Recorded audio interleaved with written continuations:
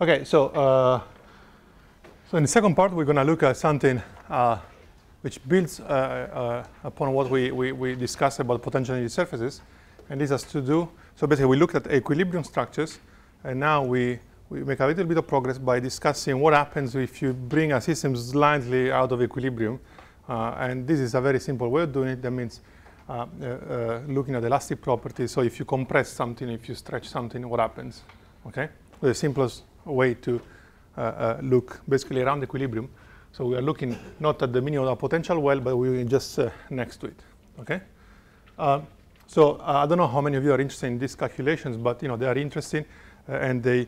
I think the bottom line is that the techniques I would like to introduce, they are also used to study systems under finite pressure or finite strain conditions, and that I think is quite useful uh, uh, for, for experiments. So you, you can simulate actually what happens uh, under finite pressure, for instance. Uh, so uh, when I, I uh, talk about elastic properties, I, I, want to you know, make sure that we're all on the same page. So we will not discuss this part, which is awful. so we'll only stay in the side of, on the side of elastic properties, so linear elasticity. So just to make a, the difference clear, uh, if you look at the stress and the strain on a material, on a sample, okay, you can make a plot like that, uh, and uh, you have typically a region where this curve is linear, okay, for a certain class of solids, which are called uh, brittle solids, okay. Uh, an example of brittle solid is, uh, you know, to, to use an example that people like here is oxides, perovskites, and I don't know, cuprates. so they will be linear uh, basically stress strain uh, relations until it breaks, right? Then there is another class of solids uh, which are called ductile. so those have, again, a linear slope. Typically, the proportionality coefficient is smaller, okay? And uh, at, at, some point, basically, uh, the behavior will deviate from linearity, and all kinds of things will happen here. Uh, so this is the point where basically, so just an example. This is something like iron, steels, uh, tungsten. Uh, at this point, essentially, you have the creation of uh, line defects, like you know dislocations and things like that. There will be basically dislocations moving around, uh, forming knots between them. It's a very, very complex uh, uh, problem. So this is very difficult, essentially cannot be studied today using kind of DFT methods. So we will concentrate on the linear elasticity region. And to make an example of which solids belong to which category, let's consider the uh, uh, uh, compound that we've been discussing so far, that's silicon. So what I'm showing here is just a plot of a and stick model of uh, silicon, okay? And uh, so what you see here, kind of greenish, I guess, is uh, isosurface of the electron density, okay, calculated using DFT. So what you can see here, basically, is that the electron density uh, is extremely concentrated in the middle of the bonds. So that's what uh, people call directional bonding, uh, and that's basically uh, the, the main cause of brittle fracture. So what happens basically is that if you break a bond, you really open up this structure. Uh, the opposite example is, uh, for instance, tungsten, which is a ductile metal. So if you look at tungsten, basically, and you plot the electron density, what you see actually is not concentrated on bonds, but it's actually a bit everywhere. Okay, it's like a glue which is there everywhere. So this actually should ring a bell because it's the picture that uh, people tell us about metallic bonding, where uh, you know in high school or things like that. It's pretty much like that. So the electron density is a bit everywhere. So if you break a bond here, the density is still going to be there, so you don't really destroy the material. So that's why. Uh, uh, uh, so they behave very, very differently. So the origin is really this directionality and the localization of the electron density in the bonds. So that's basically a, a, distinction. And but at this point, so in, the, in this region, there is basically no formal difference. So you can use the same rules for both. Okay. What is going to change is the numerical values of the elastic constants. So now to uh, what I would like to do is to introduce uh, a, a, recipe for calculating elastic constants, uh, but without, uh, so uh, I don't want to give you a, a, formal proof. I just would like to propose a way to understand it, which is very, very simple and also very uh, simple to remember. Okay, uh, suppose you want to uh, look at the Young modulus, okay, of a crystal of silicon. Uh, so the way we imagine it from textbooks is that you know you take this crystal and you stretch it, all right? And then at that point you want to relate the stress to the strain. So basically the, the, the Young modulus is the ratio between stress and strain.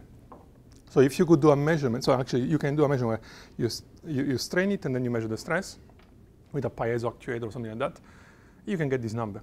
So what we can try to do, instead of going towards formal definitions uh, uh, right away, we can try to do uh, the same experiment on a computer. So that's what I did here. Um, so what this is, basically, is a slab of silicon. So imagine this to be uh, identical to what uh, I showed you for the STM uh, calculation. So it's a slab of silicon, very simply. Nothing complicated. So this has been completely relaxed. So you have to imagine that the atoms are at equilibrium. Okay? The forces on each atom are zero. So nothing is happening at this point. So what I want to do is do a computer experiment where I stretch the slab and I try to calculate uh, you know, the, the, stress. So the idea is very simple. Uh, the way I did it, uh, and you could try to repeat the calculation if you have time these days, is not in the exercise, but it's very, very easy to do. So basically what I did is to uh, basically move these atoms, so the top layer, you know, up by, so taking basically this height and multiply, adding 5%, like height times 1.5. So I move that, all right? And maybe I move also the second layer just not to break everything. Uh, and then I relax the structure using the techniques that we will look at today. So essentially you try to minimize the forces, you try to find the equilibrium configuration under the constraint that these atoms at the bottom don't move and the atoms at the top don't move, okay? So you just keep them immobile and you let everything else relax. So at the end of the story, what happens is that all the atoms uh, in the structure will have the, uh, uh, an equilibrium position. And what you see here is the relaxed structure. So as you can expect, you know, it's just a, a, uniform stretch of the, of the system along the z direction. So there is nothing really uh, complicated. It's, you just stretch, relax, and you get the, the structure. Now let's think of what is happening. If you look actually uh, inside the, the, the, code, today we will look at uh, outputs where you find the forces on the atoms. Okay, we will discuss that a second after lunch. Um, so if you do that operation for this system, what we will discover is that the forces on this atom, this atom, this atom, this atom, this atom, they're all zero. So it's all equilibrium. The force on these atoms on the top and those at the bottom, which I kept fixed, they are actually non-zero and they go in this direction. So basically the top layer would like to go down and the bottom layer feels uh, uh, an attraction towards the top. So that simply means that that was the equilibrium. It's been stretched, so the system would like to go back to the equilibrium configuration, okay? It cannot because uh, I can just impose that the positions of this atom cannot change, so I just keep them there. So physically, what it means, I mean, apart from the fact that in the code you can set the position of the atoms, what it means is that in order to keep, so if this experience a force downward, to keep it there, there must be a, a balancing force upwards. So that means what we calculate in a code is the internal force coming from all the electrons and the atoms. And uh, in order to keep it there, you need an external force, which goes the other way around. So what this physical picture means is that when you want to exp uh, expand it like that, there must be some forces acting on these atoms here and here to keep it like that. Did you have a question? Yeah. Do you keep them fixed like in the plane? Yes. Okay. So basically the z coordinate is set to this value, let's say. Uh -huh. So that's in. in principle they can. In practice they will not by symmetry. So they can, they explore basically the, the uh, potential energy, let's say the plane, but nothing can change because essentially they still have to so they, they feel the symmetry of the whole lattice essentially. Uh, but yeah, in, pr in, principle, everything is, is relaxed. So at this point, what happens is that, so once we have that, we have a measure of the deformation, and we can actually look into the code for the forces of, uh, of uh, acting on these atoms. I think maybe what she was asking is, do you like start with some kind of Poisson contraction? No, no, no, there is no Poisson. So this is basically a, a, a very simple case where take this lab, change the z coordinates of some atoms. Okay. Okay, and you're not saying. Yeah. No. No. I have a corresponding. No. No. No. No. So I'm not looking at that. That that is just a simple example. I mean, so it's uh, it's uh, so the that thing is something we will discuss uh, in a few slides. So that's basically the simplest thing. You can just just stretch it and see what happens. Uh, so what I, I, try to say is that here you have forces to keep this thing uh, uh, in this configuration, and you have a measure of the strain. So what you can do now is to use the definition of stress and strain that we learned in high school, okay? So what that is, you take the the uh, a certain kind of sample. If you stretch it by a certain amount, so that's the height, delta height, you can measure the forces. So the stress is the total external forces uh, divided the uh, area uh, upon which the forces are acting. Uh, and the strain is the basically relative uh, elongation. So it would be delta H divided by H. So we have stress and strain defined as uh, in high school, okay? So from that, we can define the Young modulus, like proportionality coefficient, that's it. So from the code, what we can tell is the following. Uh, I used a transverse size of silicon of uh, 7.6 angstroms. So basically, it's a, you know, is a two by two uh, unit cell of silicon. Okay. So the transverse area is uh, this number square. All right. Then I have in this uh, uh, uh, calculation, I had four atoms per per, uh, per unit cell in each plane. So like in the previous example of STM. And uh, in each, on each atom, I, I read from the code a force of 0.68 electron, uh, electrons per angstrom. So what I need to do to get the stress is to multiply the force by the number of atoms and divide by the square of this number. Okay? So that gives me a stress, which is 7.5 GPa. Okay? As simple as that. So that's uh, the stress in this uh, kind of configuration here. All right? Determined as force per unit area. Now, the strain is 5% because I elongated th- this thing by 5%, so that's, that's it. So now if you take the ratio between stress and strain, you get the Young modulus uh, you know, of this slab, 150 gigapascal. And if you compare to experiment, it's 166, okay? So that's basically a very simple way to discuss this kind of properties. Again, so deviation is about 10%. And I mean, this is just an example to show that there is nothing complicated about calculations of elastic constants. I mean, uh, DFT is really a way to calculate forces, uh, total energies. Once uh, you, you understood that, and once you take that into account, you can do a lot of things. Okay? So this is just one example. You stretch something, you read the forces, you get the stress, and from that you can do elastic constants. Uh, the catch is that this is a very uh, uh, coarse, this, this approximation. So, you know, the problem is that basically, you see, I'm doing a calculation, and I'm trying to determine the Young modulus using a slab. So the question one can ask is, uh, okay, how big, the, you know, how thick the slab has to be? Because really, I would like to. So the experiments typically are on uh, uh, crystalline silicon, maybe like a 300 microns or something like that. So how thick has this slab to be to get an accurate number? So, well, ideally, I would like something which is very large, but the calculation becomes uh, uh, horrendously uh, complicated. And if I take something small, because I don't want to spend too much time, maybe I can take, you know, just two layers, but that's almost like a bunch of molecules. It's not silicon anymore. So there is really a, a problem there, how to define uh, the Young modulus or the elastic constants of a bulk system as opposed to a slab. Also because here we have exposed surfaces, you could use that, or you could have reconstructed surface, you could have uh, hydrogen passivation. Uh, the final number will depend on what you're doing on the surface, because you know the, you know the, the, the effect of surface will be quite important in something so small. Okay, so you don't want that, that to happen. So one would like really to have calculations which depend only on the properties of the bulk system in the crystalline unit cell, not on slabs. So to do that, actually, there is a, a simple way to proceed, and basically is to use uh, something which is in like physics 101. It's called the work energy theorem, uh, and that's basically a, a property of classical mechanics. So that basically says that uh, the work of all the external forces on a system has to equal the change of basically of potential energy and kinetic energy of this system. Okay? Uh, so when you talk about elasticity, we are talking about external actions on the system, right? So what, uh, why this is useful? Well, this is useful because in this situation we considered, okay, when you expand this lab, you start from a system equi- equilibrium, so kinetic energy is zero. So you end up with a system that after a long time has relaxed, so kinetic energy is zero again.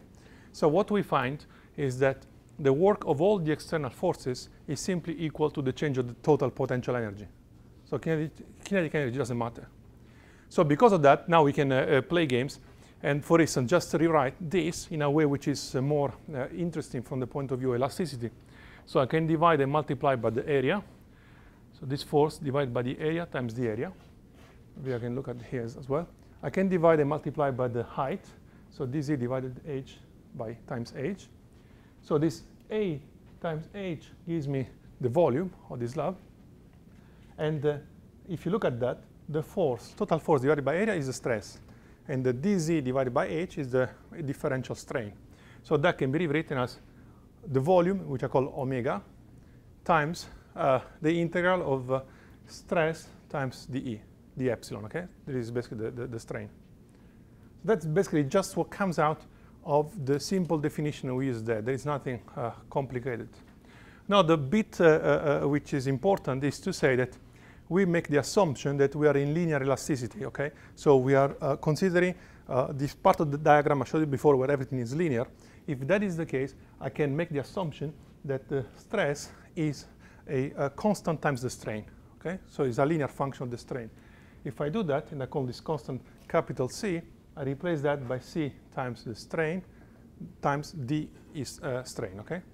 And that now can be uh, uh, uh solved, I mean integrated trivially because we will have epsilon squared divided by 2. So we find out basically that the change in potential energy is basically the elastic constant times strain square. See, as simple as that. So why this is useful? If I now take the derivative of the expression with respect to the strain, I found, find the, uh, the stress, okay, by definition, because that gives me C times strain, and that by definition is my stress. That's the first relation. The second relation is that if I take the second derivative, I kill the strain here, and therefore I find the elastic constant. So by using an extremely simple reasoning, as you can see, just taking a slab, so that is something we, we could have done after physics 101. There is no DFT here, there is no quantum mechanics. We are just saying that if you have a, a material and you can calculate the total potential energy surface, the derivative with respect to the strain gives you the stress, the stress, and the second derivative gives you the elastic constant. So that is the way people calculate elastic properties in DFT. They, they map out the total energy uh, surface, and they take first derivatives for the stress and second derivatives for the elastic constant. That's it. So that's all you need to, to remember, basically, if you want to do these calculations. So clearly here, I'm using a, a, a simplification because, you know, in a standard material, you know, if you put a stress okay, which goes uh, uh, uh, this way, you may have strain in other directions. So for instance, Julie before mentioned the, you know, basically Poisson contraction. Well, that's uh, uh, something that is there. It has to be taken into account. So the way to take that into account is to generalize all these things, you know, beyond the case of uh, cubic isotropic uh, perfect materials, going to the most general case where the strain can be anything, and therefore the stress can be anything. And uh, we go from scalars to tensors, okay? So that's a bit awful, but that's the way it is. And uh, I need to say that this has nothing to do with me or DFT. That has been invented by people who do uh, mechanics, solid mechanics. So this is something in principle I could just skip because I assume you know that better than I do because I never did really uh, uh, solid mechanics. That is something that people do in mechanical engineering probably do every day for breakfast. But basically the way it goes is that to define the most general deformation of a solid, uh, the way to do it is to say any atomic position. So this would be uh, the position of the atom i in the Cartesian direction alpha, that could be x, y, or z, is rewritten as the old position, Kronecker delta times the old position, plus uh, something else, okay? The something else is a, uh, some kind of linear combinations of the previous positions, and this linear combination is called the strain tensor. So this is of the order of 1 along the diagonal, and this is uh, of the order maybe of 1%, 2%, 3%. So this is a very small number. So this is not something that I made up. This is a definition of strain in the most general case. Okay, if you go to any elasticity textbook, that's what you will find. So the, the actual meaning of that is that if you have four atoms here, I don't know, A0, A1, A2, and A3, and you define some uh, kind of strain tensor, that will deform going somewhere else, that will deform, this will deform. So you go from a shape to another shape, and the, the final shape can be anything, okay? So by using this tensor notation, you can go from a cube to something which looks not, nothing like a cube, okay? So you have all the information possible here. Okay? So again, I don't want to spend too much time there because it's not really the real mod DFT. This is actually standard uh, uh, uh, solid mechanics. And uh, at this point, if the strain tensor, so the strain has become a tensor now to define all possible deformations, you can imagine that when you take derivatives the potential energy surface with respect to a tensor, you also obtain a stress which is also a tensor. That's why people talk about strain tensor and stress tensor. The complication at this point is the following, that if we look at that, basically the elastic constants are a second derivative with respect to the strain. In this case, it's a scalar. If the strain becomes a, tensor, the situation gets messier. So the, the, the, the total energy surface will be essentially expanded as a quadratic form of the strain. So you have twice the strain tensor. And the proportionality coefficient is no longer one constant, capital C, but is a tensor of uh, rank 4. That means C, alpha, beta, gamma, delta. So each of those is a Cartesian coordinate. So how many constants there are? 3 to the power of 4, 81 uh, uh, uh, elastic constants, okay? So that's clearly getting quite messy. Uh, but uh, there are good news. So things are not as difficult in general. Uh, so let me make, for instance, uh, one uh, observation.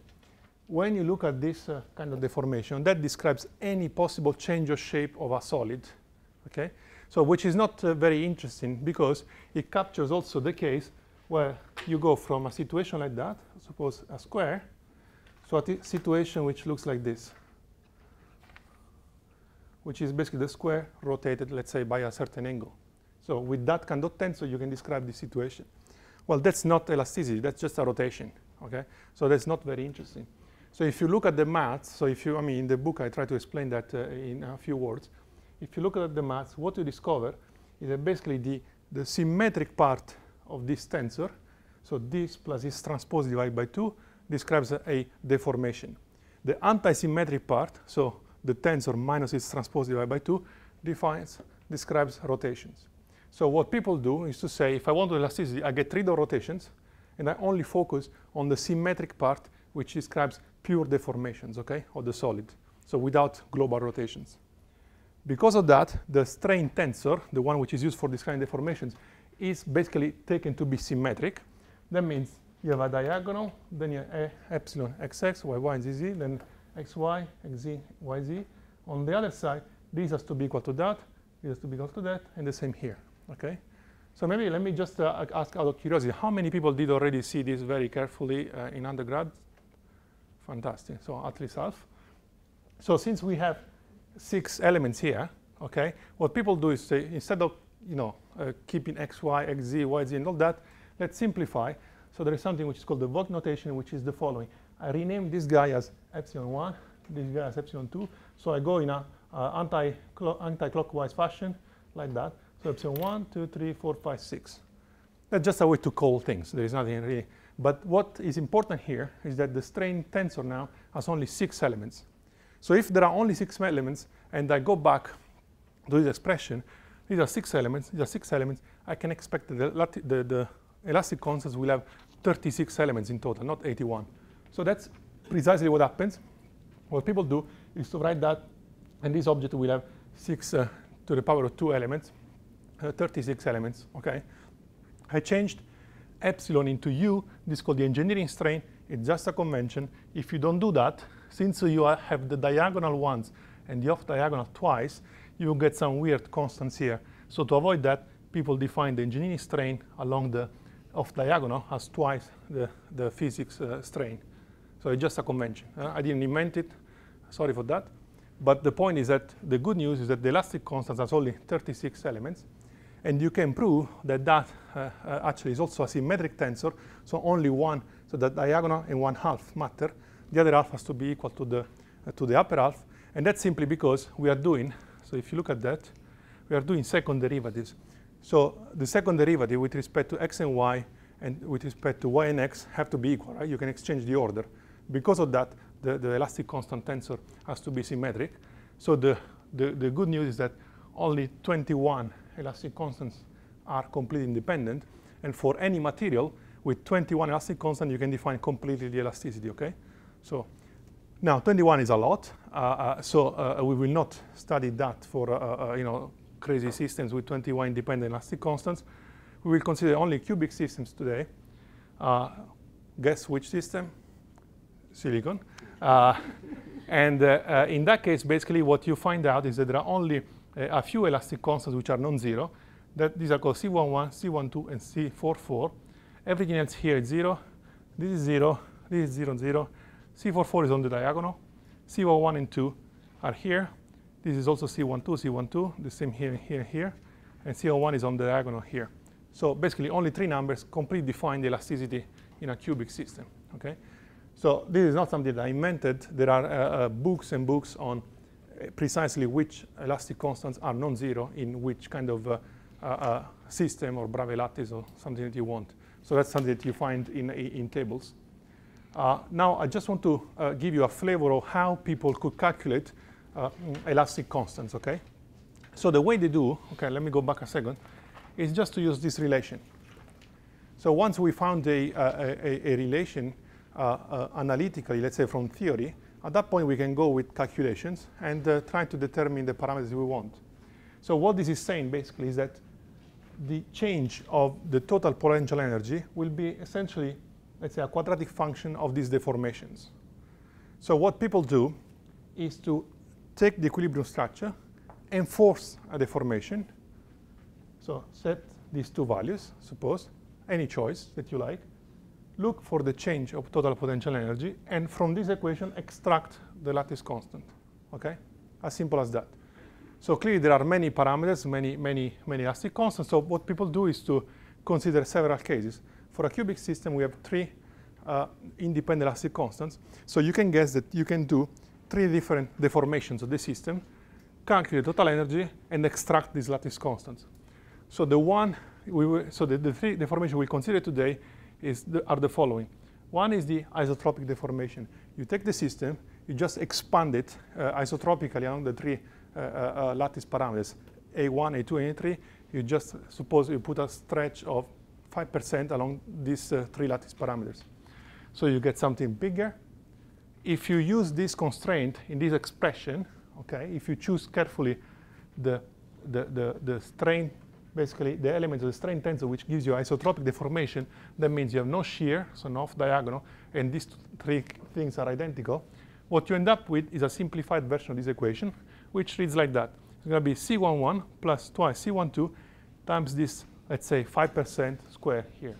So that means if I expand the structure, the lattice, let's say by 2% or 5%, and I do a calculation of the total energy, I will get this value. If I divide now the change in total energy by the expansion parameter, I get the sum of C11 and twice C12. So that's one relation I need. Second relation, as you can guess, is a tetragonal deformation. That's what Julie was asking before. I stretch basically along one direction, and I compress along the other two directions. Okay, so in the and these two things are related by the essentially something like a Poisson ratio, which where you conserve the volume, you go basically you do minus a certain amount in two directions and twice the same amount along the third direction.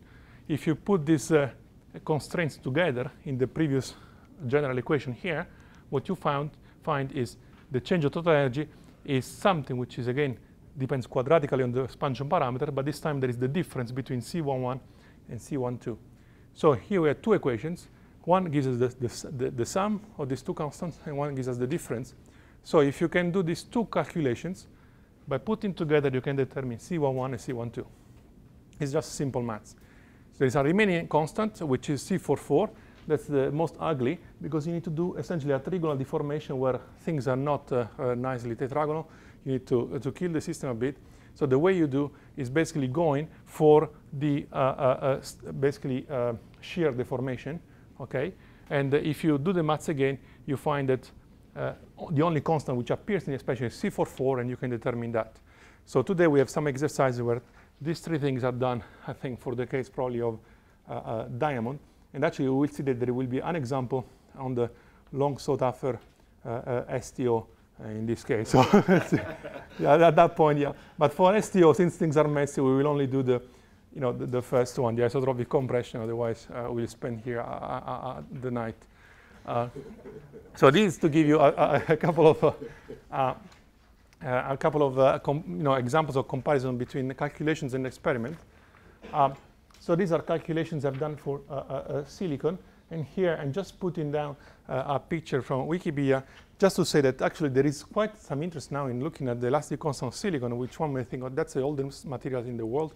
Nobody cares about silicon anymore. That's true. But uh, we will delete that. uh, uh, but uh, basically, uh, since you know the processing is very advanced now, basically it's easy to it's easy. It is possible to do to look you know to form things like micromechanical cantilevers. So it's very nice for you know I don't know piezo properties or you know resonators. So in this application, one has to know very carefully the, the, the, elastic constants because by using that you can de determine vibrational frequencies of these bars and things like that. So if you look at calculations, uh, uh, DFT-LDA gives me 161 for uh, C11 and experiment is 165, so it's 3%.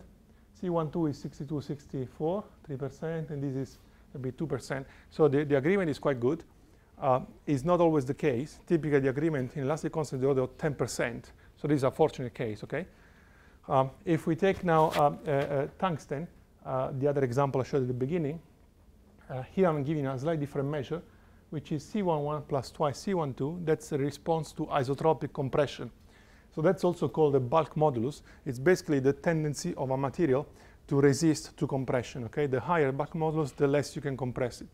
So tungsten is one of the elements with the highest bulk modulus. I think above tungsten, there is probably only diamond, uh, uh, uh, with the highest bulk modulus, and maybe boron nitride. Um, and basically, here we get 328, experiment is 314, and the error is 4%. So also in this case, things are pretty good. But remember, these are very good cases where DFT performs very well, okay? So this is not always the, the, the, the case. That's basically the best uh, uh, uh, you can get. Now, I just have two couple of final slides. what I want to tell you is that uh, the elastic constants can be uh, calculated by essentially deforming the structure and using these equations, okay? That's a possibility. Uh, there is another uh, approach which is smarter, but it's, uh, uh, it's more involved from the conceptual point of view. So people have been working on that for a long time, and they found new strategies. So what one can do is to calculate the stress tensor directly from a calculation without deforming the system, and that's essentially using perturbation theory. That's called the, the, the stress theorem, and so this is basically the same Richard Martin of the book that I was mentioning at the beginning, is uh, Urbana-Champaign. Uh, so this stress theorem basically allows you to calculate stress in the system without deforming the, the structure. And today in the tutorials, you will see that if you compress something, the code can give you the stress, and you can tell, oh, wow, this is really under compression, so I need to, to, to maybe do a better job in relaxing it. The, the good news about having stress is not just, oh, I want to see the stress, is that once you have uh, a theoretical tool to calculate stress inside the code, uh, clearly you can imagine that you can try and do a calculation under a finite stress. Okay, that means, for instance, that includes hydrostatic pressure. So if you want to do a calculation on any of these materials at 300 gigapascal, it's you know in DFT it's trivial. That's uh, something we discussed, uh, uh, I guess, uh, at the very beginning when I gave you, gave you examples, and people were looking at know the melting temperature of curve of iron in the at the condition of the Earth uh, core, uh, you know, doing calculations of iron at 350 gigapascal is possible and it's very easy with DFT. The calculation is not more expensive. It's just basically uh, an extra term in the Hamiltonian, which is the, contains the stress. Okay, so that's why this is very important. So that's something that um, uh, is increasingly popular to study uh, materials under uh, extreme conditions. Okay, so whenever people do now diamond anvil experiments, typically there is somebody doing calculations with them uh, uh, to, to see uh, you know, what is going on. And you know, for instance, a lot of work recently on the hydrides, so the high temperature superconducting hydrides, DFT calculations were very important to try to find out what could be the, the you know, the, the actual phase of that, those kind of hydrides at those high pressures. I mean, it would be very different to, to establish that, difficult to establish that uh, without these calculations. And uh, this is basically just a, a, cartoon thing where I want to show you one example where this calculation under uh, finite uh, uh, pressure have been very useful in the, in, in, the past. That's another example for planetary physics. so what you're looking at here, basically, on the, so on the right is a cross-section of, uh, you know, basically the, this planet. So we are basically here, okay? And as you go deep inside, you have various layers, okay? You have the crust and the mantle, you know, the, man the, the boundary between core and mantle. This is the outer core that we discussed on day one. This is the inner core. And just to give you an example, so I told you on day one that the inner core is solid and is iron, and this is liquid. So how do people figure that out? By basically uh, uh, cross-matching uh, uh, seismic data from various parts on, on, you know, positions on this planet. They essentially mapped out the uh, distribution of elastic constants uh, in, inside the planet, okay? And for instance, they could tell that this is liquid because the longitudinal waves, they, they do propagate here. That's the, the sound velocity but the shear waves, uh, basically the velocity goes to zero in this region. So there is only one place where shear waves don't propagate. Is either, I mean, two places, liquids and uh, you know gas. So either it's gas, but it's unlikely, or it's liquid. Uh, so this is basically liquid iron. And now what I would like to discuss is this region here. That has been actually quite famous in, uh, I don't know, that was 2005, I suppose. Uh, basically, uh, uh, this region is called the D second layer It's basically at the intersection between the core and the uh, mantle. And essentially, pretty much every single material across the, this uh, kind of section is known. People have studied that a lot. So, uh, you know, earth science uh, has gone a long way. And there was a, re a remaining controversy about the, the, you know, the composition and the structures in this layer. So what people know is that here, most of the materials, so most, the largest percentages uh, comes from magnesium, uh, silicate, okay, which is a perovskite structure. What was happening here is that people in this region, you cannot see, but in this region, there was essentially a very significant uh, anisotropy of the propagation of sound. Essentially, uh, that, uh, up to this point, people were, were recording uh, uh, isotropic materials. At this point, it happened that before moving into iron, liquid iron, everything becomes anisotropic. And there were various speculation of why that happens. Um, so what I need to tell you is that here the pressure is basically about 130 gigapascal, okay? So what people did here is calculations to see what is the stable phase of magnesium silicate at those pressure. And what they found basically, if this shows up, is that, uh, I'll show you here, that this is the difference basically in enthalpy between the structure on the left and that on the right. So what this plot means is that when you hit zero, these two phases are equally uh, basically likely. On this side, basically, this phase becomes uh, uh, uh, essentially the ground state, okay? So what that means is that when you exceed like 99, 98 gigapascal, so the stable phase of this magnesium silicate is not the standard perovskite, but it's something which is called the post-perovskite, okay? And as you can see, so this is a layer material now, so you can guess anisotropic elastic constants. At the pressure of the, this layer here, it will be under 30 gigapascal. So according to DFT calculations, the stable phase at that point should not be this one, but should be this one. And if you calculate basically the, the, the, the shear waves, uh, uh, so the shear wave velocity uh, for this phase, that is basically in better agreement with experiment than this one. So that was basically an assignment of the structure of this layer. And that was quite important because you know, the DFT calculation has played a very, very important role here. So that was done at uh, University College uh, uh, London, this work. So this actually mm, shows you that actually if you can do calculations under extreme pressure, you can get information which would be very difficult to get experimentally because you know you need to probe materials which are you know 2,000 two, two kilometers, no, 2,000 kilometers below the surface. Okay, so that's basically the I would say the end of today's lectures. And what we're going to try to do in the afternoon is to see how to uh, optimize structures uh, automatically, okay, the first bit. And the second bit, how to calculate some uh, elastic constants, okay?